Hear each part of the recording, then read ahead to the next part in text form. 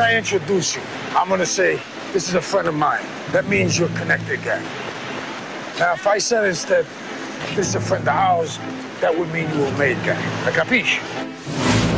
When Lefty brought Donnie into his world, Who's this guy? This Donnie, a friend of mine. he took a risk on a kid he hardly knew.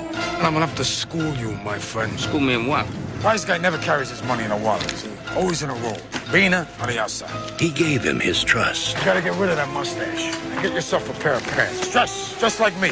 He loved him like a son. Nobody can touch you because I represent you. Keep your nose clean, follow the rules, be a good earner, and maybe one day when they open the books, you could become a wise guy. I die with you, darling. But he never knew the truth. There's a war going on in that mafia family, and that is where Joe is undercover. Donnie, come here. I want to know where my husband is. We don't know. You're gonna freeze up? No. A lot of guys freeze up. You said it was going to be three months. It's going on three years. Who he's with and who he's close to, they're all the top dogs now.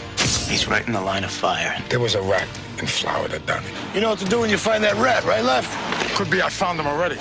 In our thing, you get sent for, you go in alive, you come out dead, and it's your best friend that does it. We have got to pull him out. You think I'm a rat?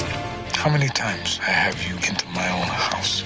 If you're a rat, then I'm the biggest mutt in the history of the mafia. If I come out, Lefty dies. They're gonna kill him. Because he vouched for me. Because he stood up for me. That's the same thing as if I put a bullet in his head myself. Do you understand? Who am I? I'm a spoke on a wheel, and so are you. Hey, Don, Yeah. let's take a walk. I'm your best friend.